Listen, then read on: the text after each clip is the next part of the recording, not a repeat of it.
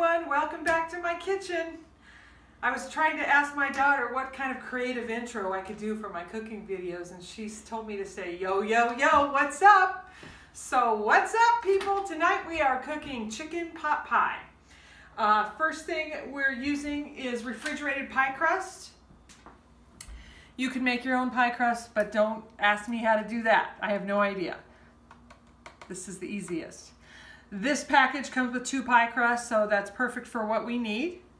I'm using a um, ceramic dish for this, and what I've done is spray it with nonstick cooking spray. So we're going to first par bake the um, bottom pie crust so that it doesn't get soggy when we put all of our filling in. So we want to unroll the pie crust. And I don't quite have a pie pan here, so sometimes there's a little manipulating, but I'm just going to kind of stretch it out a little bit to have it go up the sides. And then we're just going to poke it with a fork a little bit so that when it bubbles up, um, it won't it won't bubble up too much, I should say. So I've got my oven to 450, which is the temperature that the pie crust says. So whatever pie crust you're using, you can buy a pre-made, you know, in a pie shell. That works too. So just follow the, the temperature on the directions. So we're gonna put that in the oven just for a few minutes while we chop up some vegetables for our pot pie. And what we're using today is a mirepoix, which is carrots, onions, and celery. I know that's a big fancy cooking term, which is not usual for me, but I'm learning new things. So um, I've already did the done the carrots and the onions, so we're just gonna do the celery. The tip I use for cleaning celery is I don't wash it under water directly. Sometimes it kind of makes the celery a little, I don't know if soggy is the right word, but you don't need all that extra water in your vegetables. So I just use a wet paper towel to wipe down the inside of the celery stalks and the outside. And you can see what that does. It works much better than just rinsing it, okay? So we'll just start off by cutting off the ends, which are usually not great. And of course, these wide ends. So those we'll throw away. And then the celery, I'll just cut down the middle. Again, you can leave these whole I mean, this wide, depends on how big you like it, but we'll just give these a chop. And you can use whatever vegetables you like in a pot pie. These are pretty traditional, and sometimes there's potatoes in a pot pie, but I don't usually put that in mine. So we'll just add this. I'm gonna get my burner started here. We're gonna put it on about a medium-high heat um, get that going. We're gonna saute these just in um, some olive oil. And I did save my celery leaves. I always do that. It's a good tip. This, this is a great herb right here. You can add these to soups. We're gonna add it along with the rest of our herbs, which I have some fresh thyme here. So I'll cut that up. Let's cut up the celery leaves.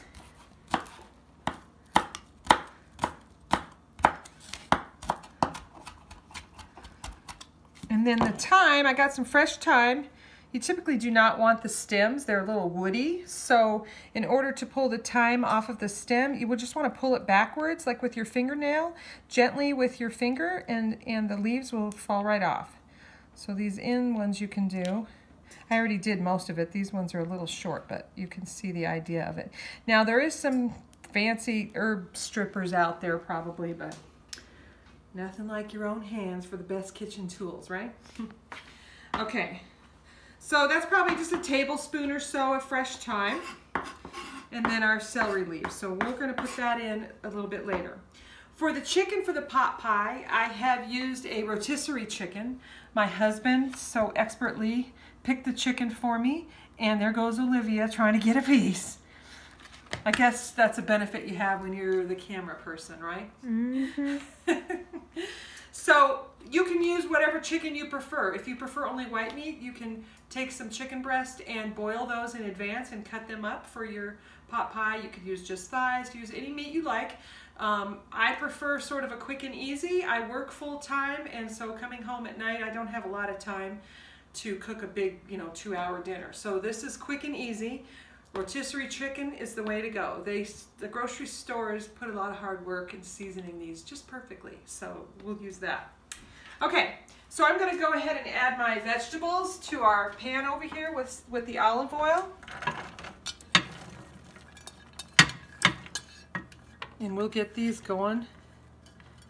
You always want to preheat your, your pan so you can get that sizzle, which I don't have yet. I didn't turn it on early enough, but that's okay. It will heat up. So, give these a stir. Now, as far as seasonings go, up to you. Uh, like I said, we're going to use the fresh thyme and the celery leaves, but I also, of course, do salt and pepper. And this is another one of my favorite spices from the Savoriest Spice Store. It's called the Wash Park Seasoning. It's sort of just a great season all. This one has uh, black pepper, sugar, garlic, salt, red and green bell peppers, shallots, parsley, chervil, and spices. Don't ask me what chervil is, but trust me. Tastes good, smell good. So we'll give that a little sprinkle in here just to get it going. Okay, we will let these cook up and then we'll start putting our pot pie together.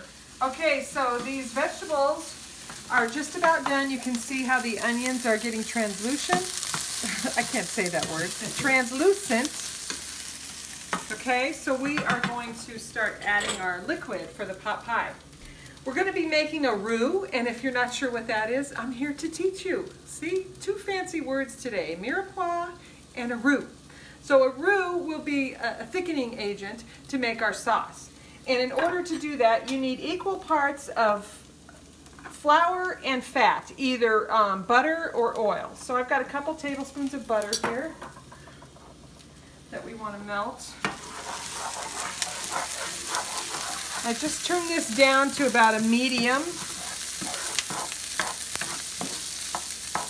Okay, then I've got a couple tablespoons of flour here, sprinkle in.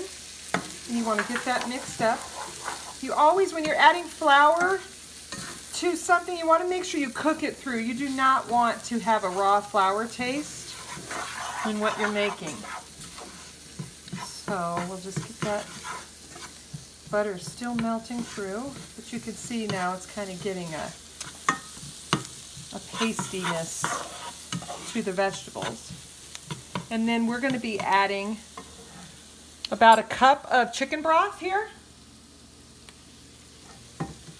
And you slowly add a liquid to a roux, so you get that thickening going, and then you add a little bit of liquid at a time. And you let that heat through. And as it boils, it gets thicker. If you add it all at once, it won't come up to the right thickness. So you can see as we're starting to get a little sauce here, and it's thickening up nicely.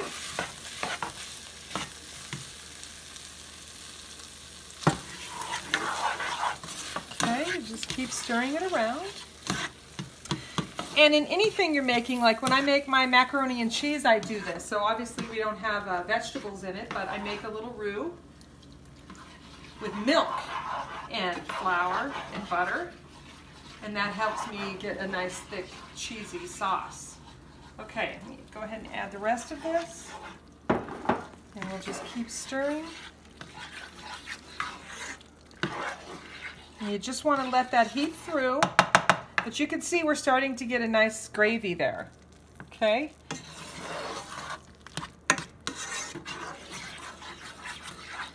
Now I do want to add some fresh ground pepper. And this Wash Park seasoning that I added has does have salt in it, so we don't um, need to add any salt here. You can if you're, you know, a salt freak. I do have some friends that are salt freaks. Okay, so this looks great. So now I'm going to be adding uh, a small can of cream of chicken soup. This also has great flavor and will also act as a thickening agent for that gravy. Okay. So we'll mix that in.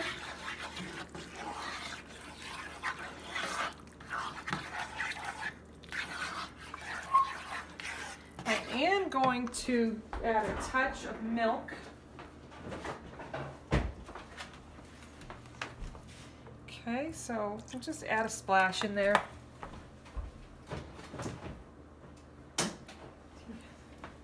All right. Now, if you don't want to go through the process of making a roux, you can just use a large can of cream of chicken soup as your whole base, and that works totally fine. Once it cooks down, it thins out, so it's not so, um, you know, thick like it as it comes out of the can. But as it heats through, it makes a perfect gravy.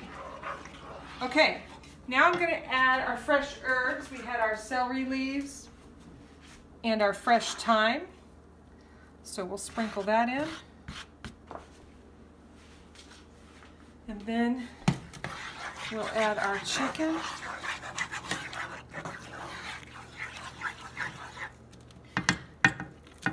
Once this is all heated through, your time in the oven won't be that long. It's just gonna be enough time to um, cook your crust, which we did, by the way, take out the um, crust from the oven, the bottom crust, that went in for about 10 minutes. You just have to keep an eye on it.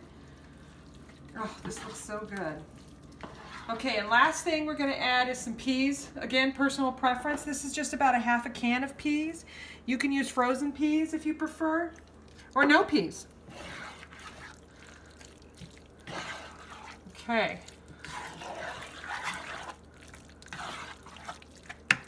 So we'll get that going.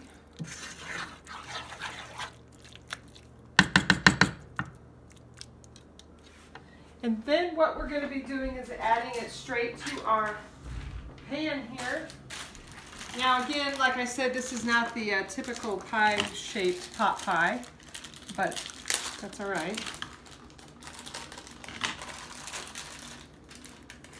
Is going to be our top crust, so I'm just getting that ready.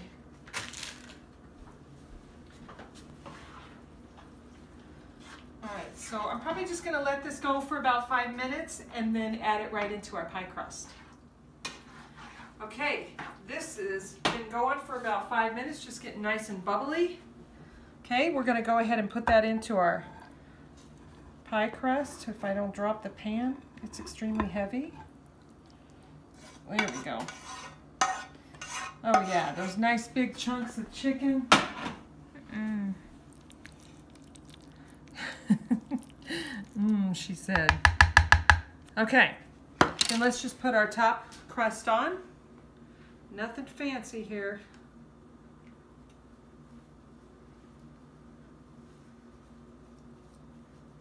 One of these days, maybe I'll make some homemade pizza crust for you. Just kidding, I don't do that.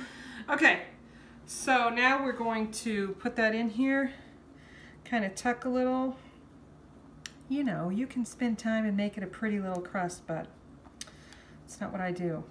Now, one thing you do want to do is poke it. You're welcome to do fancy things with your pie crust. You can cut out little hearts or do whatever you want.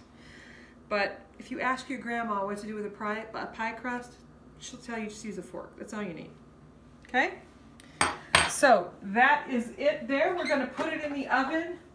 Let me turn off this burner.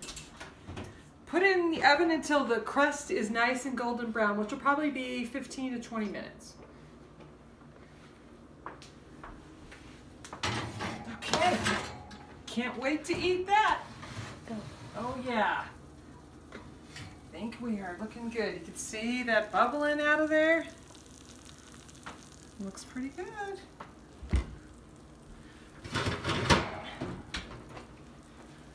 Right. Let's dip into this puppy. Get down there, that bottom crust.